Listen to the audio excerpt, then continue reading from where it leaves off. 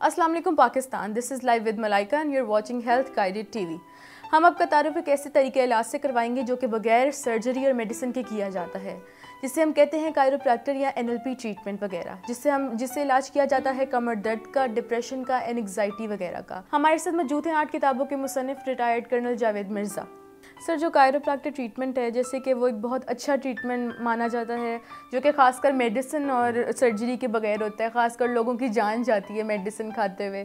تو سر، آپ یہ بتائیں گے کہ جو کائروپریکٹر ٹریٹمنٹ ہے، وہ کس اصول یا سائنس پر کام کیا جاتا ہے؟ ملکہ، آپ کے سوال کے جواب میں کہ بیسیکلی سائنس کیا ہے، اصول کیا ہے جس پہ کائروپریکٹر کام کرتی ہے۔ تو بات یہ ہے کہ it is closest to this chiropractor treatment is closest to human nervous system and functioning of human nervous system اور ایک فطری علاج ہے، فطری علاج نیچر نیچرل علاج۔ اس لحاظ سے کہ جیسا کہ آپ جانتے ہو، آپ دیکھ بھی رہے ہو سامنے چارٹ پہ، ناظرین بھی دیکھ رہے ہیں کہ ہیومن نروس سسٹم کے تین حصے ہیں brain being the head of the body spinal cord جہاں سے بلڈ ڈسٹریبیوشن ہوتی ہے تمام تر جسم کے لیے۔ سر سے لے کے پاؤں تک اسپائنل کارڈ سے تقسیم ہوتا ہے اینڈ اسپائنل نروز جن کے ذریعے بلڈ جاتا ہے۔ اب جب اسپائنل کارڈ میں ڈسٹربنس آ جاتی ہے اسپائنل کارڈ میں فرق آ جاتا ہے، کوئی ڈسک سلپ ہو جاتی ہے، جیسے جیسے سی سکس سے سلپ ہوئی تو کالر پہ آ گئے لوگ۔ بازوں میں درد آنے لگی، گردن میں درد آ گئی، کندھوں پہ درد آ گئی ایل فور فائیو میں بلڈ آیا بلڈ سرکولیشن افیکٹ ہوئی اسپائنل کارڈ سے۔ تو شٹیکا ہو گیا، کمر درد آ گیا۔ تو ہم کائروپریکٹر اس کا علاج کرتے ہوئے اسپائنل کارڈ کا، اس کا ڈسک کا علاج کرتے ہوئے اس کو واپس اپنی جگہ پہ لاتے ہیں نیچرل وے میں۔ لاتے ہیں، بغیر دوائیوں اور بغیر سرجری کے لاتے ہیں، جس سے کہ بلڈ سرکولیشن بحال ہونے سے پین دور ہو جاتی ہے۔ تو we are restoring it back to the natural system اور اسپائنل کارڈ کا چونکہ مرض بھی ادھر سے آتے ہیں بلڈ سرکولیشن ریڈیوس ہونے سے، اور اس کی درستگی سے بلڈ سرکولیشن ریزیوم بھی کر جاتی ہے، جس کی وجہ سے یہ دور ہو جاتا ہے۔ تو basic science basic science of car on which chiropractor functions is کہ چونکہ disturbance in the flow of the blood came from spinal cord spinal cord میں فرق پڑا ڈسکو میں فرق پڑا ورٹیبرز نے نروز کو دبا لیا اور ان کو ریسٹور کرنے سے چونکہ بلڈ بحال ہوا تو اس لیے it is closest to human nervous system it is a natural treatment جس میں کہ نہ میڈیسن انوالو ہے اور نہ کوئی سرجری انوالو ہے تو سر جاوید، ہم لوگ اس بات پہ روشنی ڈالتے ڈالتے ہوئے چلتے ہیں۔ ہمارے ناظرین کو بتائیں کہ کیا یہ بیماریاں مسرتی ہوتی ہیں یا وقت کے ساتھ لگ جاتی ہیں؟ یہ مروسی بھی ہوتی ہیں بیماریاں اور وقت کے ساتھ ساتھ بھی لگتی ہے لٹ سے آپ ملائکہ بٹ ہو، آپ لاہور میں رہتی ہو، کشمیری ہو، تو کھانے کیا ہیں آپ لوگوں کے؟ ہریسہ پوری ہروا بازار سے کھانا زیادہ۔ تو اگر آپ چیپ قسم کا آئل جن میں جو ایسی بازار میں کمرشل لیول پہ پروڈیوس ہوں گی چیزیں، ان میں ظاہر ہے کہ وہ سستا قسم کا آئل استعمال ہوگا نا۔ اور جب وہ سستا قسم کا آئل ہوگا تو وہ ایل ڈی ایل بھی پروڈیوس کرے گا آپ کی باڈی میں۔ جب ایل ڈی ایل پروڈیوس کرے گا تو وہ آپ کو بیماری لگے گی نا۔ باڈی میں آرٹریز میں ایل ڈی ایل جمع ہو جائے گا۔ اسی طرح جب آپ بے تحاشا کھاؤ گے تو مروسی بیماری اگر موٹاپا نہیں بھی ہے تو کیلریز انٹیک بارہ سے پندرہ سو کیلریز نارمل آدمی کو ضرورت ہے۔ جب اوبیسٹی آئے گی تو آپ اس سے کافی پلس کھاؤ گے۔ یا اسی طرح چار پانچ وجوہات ہیں اوبیسٹی کی۔ ان پہ جیسے ڈرگ کا زیادہ یوز کرنا psychological imbalance nutritional imbalance physical imbalance تو یہ ساری چیزیں جب آئیں گی، تو یہ بعد میں بیماریاں لگیں۔ ہاں ماروسی بیماریاں بھی ہوتی ہیں، جن خاندانوں میں بلڈ سرکولیشن پراپر نہیں ہوتی ہارٹ کی بیماری ہوتی ہے کینسر کا مرض ہوتا ہے۔ ایسی بیماریاں ماروسی بھی ہوتی ہیں۔ لیکن ان سب کو بدلا جا سکتا ہے اگر آپ بہتر چیزیں کریں۔ لیٹ سے کہ آپ ایکسرسائز کرتے ہیں، کھانے پینے میں پرہیز کرتے ہیں، تو اگر معذورسی بیماریاں بھی ہیں تو those can be taken care of آپ ان کو روک سکتے ہیں، آپ ان کا علاج کر سکتے ہیں، آپ ان کو بہتر کاؤنٹر کر سکتے ہیں۔ تو ان نٹ شیل بیماریاں معروسی بھی ہوتی ہیں اور بعد میں بھی لگ سکتی ہیں۔ لیکن آپ کے یہ لائف سٹائل اور کھانے پینے کے انداز پہ ڈیپینڈ کرے گا۔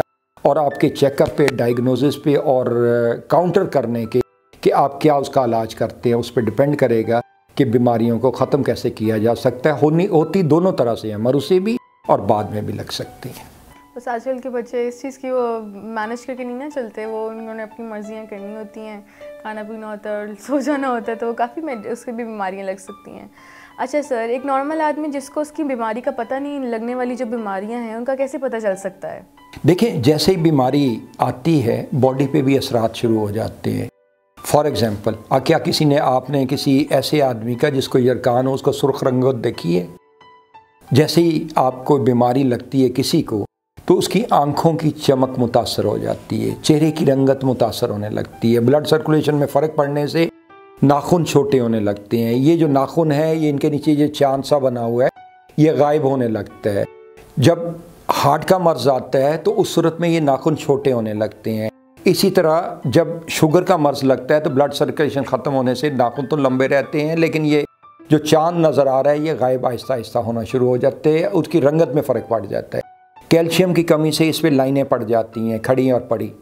تو ان ساری چیزوں کا اگر آپ کو پتہ لگ جاتا ہے کہ صحت کے میں کچھ پرابلم آ رہا ہے، صحت کمزور ہو رہی ہے اور اس کو ابتدا میں علاج کرنے پہ آپ کا ٹائم بھی کم خرچ ہوگا، پیسہ بھی کم خرچ ہوگا۔ باہر کے ممالک میں تو ابتدا میں ہی کائروپریکٹر کے پاس چلا جایا جاتا ہے۔ ہر مہینے پریکاشنری جاتے ہیں کہ سٹریس جب باڈی یوز میں ہے، سارا دن کام کاج کرے گی تو ہر مہینے جایا جاتا ہے کہ اس میں لائکلی جو سٹریس آنی ہے اس کا بہتر علاج پہلے یہ ہے کہ prevention is better than cure پہ عمل کرتے ہوئے سبلیکسیشن کو دور کرتے ہوئے، پہلے آپ کائروپیکٹر کے پاس ہر مہینے باہر جاتے ہیں۔ میرے یہاں بھی کچھ مریض ہیں جو ہر مہینے آتے ہیں اور ان کو کائروپریکٹر سے ایڈجسٹمنٹ کرا لی جاتی ہے۔ نیک میں اسپائنل کارڈ کے باقی حصوں میں جو آئی ہو، اس کو ٹھیک کرا لیا جاتا ہے۔ تو جب آپ کو بیماری آئے، تو اس کا ابتدا میں ہی اپنے ڈاکٹر کے پاس جائیے اور اس کا علاج کرائیے۔ آپ کو بہتری اسی وقت حاصل ہوگی جب تو آپ کام کاج بھی کر سکیں گے۔ اس کو اگنور نہ کریں بیماری کو اور اس کو ایسا مت لیں کہ یہ خود وقت ٹھیک ہو جائے گی۔ لیکن سر جاوید ہماری ناظرین یہ جاننا چاہیں گی کہ کیا آپ کے علاج سے فوری شفا مل جاتی ہے؟ جی چونکہ یہ میں نے جیسے گزارش کی کہ یہ نیچرل سسٹم کے زیادہ نزدیک ہے۔ نیچرل سسٹم اس طرح کہ اسپائنل کارڈ سے بلڈ ڈسٹریبیوشن افیکٹ ہوئی تو اسپائنل کارڈ میں سے جب بحال ہوئی تو جیسے ہی بلڈ ٹانگوں میں فار ایگزامپل شٹک ہے، کمر درد ہے، گردن درد ہے، تو جیسے ہی بلڈ سرکولیشن شروع ہوئی، فل فور افاقہ ہوتا ہے، فل فور۔ اسی وقت میں نے کئی ایسے مریض دیکھے ہیں جو آتے ہوئے، لنگڑاتے ہوئے، چلتے ہوئے آتے ہیں۔ چلنا، چلا نہیں جاتا پراپر لیکن جیسے ہی ان کی اسپائنل کارڈ ایڈجسٹمنٹ کرتی ہیں، ہم ان کا ایل فور فائیو ایڈجسٹ کرتے ہیں، تو اس کے بعد ان کو کہا جاتا ہے کھڑے ہوں، بلکہ جمپ لگائیں، بھاگیں۔ تو وہ فوراً اس پہ ان کو تقویت پہنچ چکی ہوتی ہے، ان کی جو سبلکسیشن دور ہونے سے ہے، ان کی باڈی میں بلڈ کنٹرول ہونے سے ہے، ان کی درد تکلیف فوری طور پہ دور ہو جاتی ہے اور وہ اپنے آپ کو بہتر ہلکا محسوس کرتے ہیں اور بھاگ دوڑ میں وہ سب کچھ کر سکتے ہیں جو ان کی تکلیف تھی کیونکہ رفع ہو چکی ہوتی ہے۔ سر تو ان بیماریوں سے کیسے بچا جا سکتا ہے؟ ہاں، اس طرح تو ایٹی پرسنٹ جو پاکستان کی جو عوام ہے جو ہماری پاکستان کی وہ جو ایک وہ کیا سے کہتے ہیں یونین ہے تو آدھے سے زیادہ لوگوں کی بیماریوں میں ہی وہ بیچارے اپنی جان کھو جان سے ہاتھ کھو دے دے بیٹھتے ہیں۔ دیکھیں بیماریوں سے بچنے کے بہت آسان طریقے ہیں۔ بیماریوں سے ایسے بچا جا سکتا ہے کہ اپنی نیوٹریشن کو کنٹرول کریں۔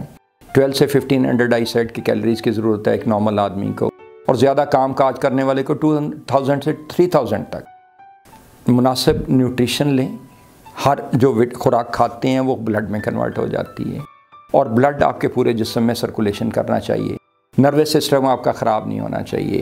آپ جو روزانہ ایکسرسائز کریں، اپنے آپ کو، اپنی باڈی کو سرکولیشن دینے کے لیے، اپنی ریفلیکسز کو سٹیمولیٹ کرنے کے لیے ان سے کریں۔ اور بہتر نیند لیجیے۔ اس سے بیماریوں کو پریونٹ کیا جاتا ہے۔ یعنی چار چیزیں۔ پہلی چیز نیوٹریشن پراپر، دوسری چیز ایکسرسائز، تیسری چیز بہتر نیند، چھ سے آٹھ گھنٹے لیجیے، کیونکہ آپ کے ہارٹ کی بیٹری نے چارج ہونا ہے اس سے۔ اور چوتھی چیز کیا ہے؟ نروس سسٹم، اپنا ٹھیک رکھیے اپنی سبلکسیشن ریڈ کی ہڈی میں پرابلم نہ آنے دیں۔ بلڈ سرکولیشن ٹھیک رکھیں۔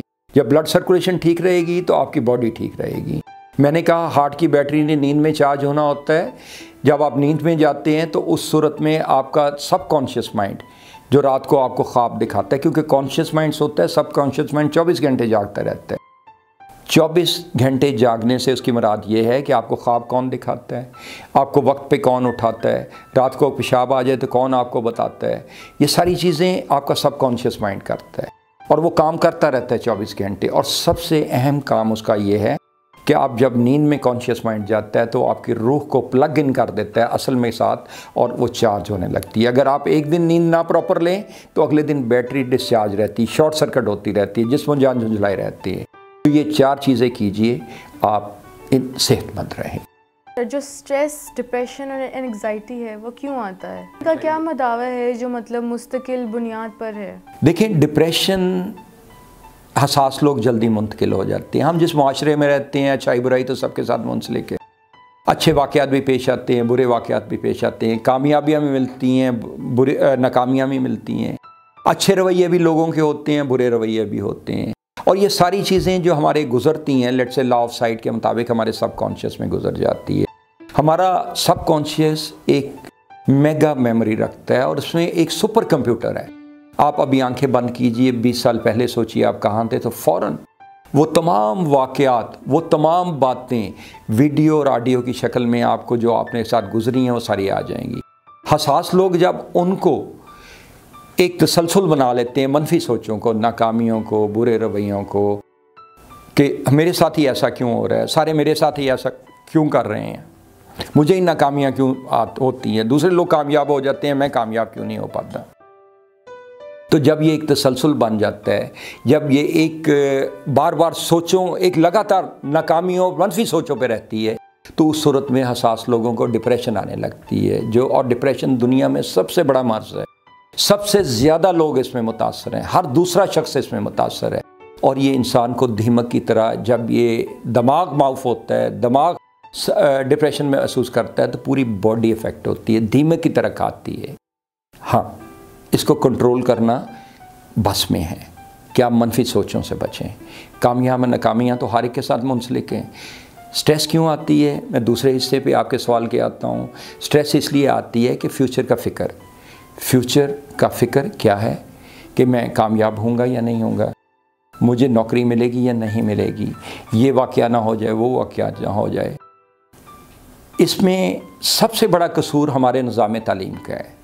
ہمارا نظام تعلیم یہ تو بتاتا ہے کہ اچھا افسر کیسے بننا ہے، نوکری کیسے حاصل کرنی ہے، امتحان میں کامیابی کیسے حاصل کرنی ہے، کمپٹیشن میں کیسے کامیاب ہونا ہے۔ لیکن یہ نہیں بتاتا کہ انسان اچھا انسان کیسے بننا ہے۔ اچھا انسان، اور یہ بھی نہیں بتاتا کہ اللہ تعالیٰ نے رزق ہر ایک کے لیے رکھا ہے۔ جو متعین ہے، جو آپ کا حق ہے، وہ مل کے رہے گا۔ وہ رزق کیڑے میں کو، جو کیڑا جو پتھر میں ہے، اس کو بھی دیتا ہے۔ یہ تقوی جو ہے اللہ پہ، یہ جب کمزور ہوگا، ایک اچھا انسان بننے کی تعلیم نہیں ہوگی، ہمارا معاشرہ نہیں دے گا، یہ سکھلائی میں نہیں آئے گا، ہماری ڈیولپمنٹ بچے کی سٹیج پہ نہیں آئے گا، اس کو بتایا نہیں جائے گا، تو اس صورت میں فکر تو لاحق ہوگی نا، تو سٹریس آئے گی، جب دماغ فکر محسوس کرے گا تو پوری باڈی میں منتقل ہوگی۔ یہ تقوی، ولیوں نے ہمیشہ اسی کی تلقین کی ہے لٹ سے بابا بلے شاہ کہتے ہیں دیکھو بندے آسمانہ تے اڑ دے پنچھی وہ دیکھتے صحیح کی کر دینے ناؤ کر دے رزق ذخیرہ ناؤ پکھے مار دینے بندے ہی کر دے رزق ذخیرہ بندے ہی پکھے مار دینے پھر آگے جا کے کہتے ہیں پلے رزق نہ بننے پنچھی تے درویش جنہ دا تکیہ رب تے انہاں لے رزق ہمیش وہ پتھر پتھر میں کیڑے کو بھی رزق دیتا ہے اور روزی جو اللہ تعالیٰ نے آپ کے اصول کے لیے لکھ دی ہے آپ کی جو حاصل ہونی ہے، جو رزق آپ کو حاصل ہونا ہے، روزی پیچھے جاتی ہے، رزق پیچھے جاتا ہے۔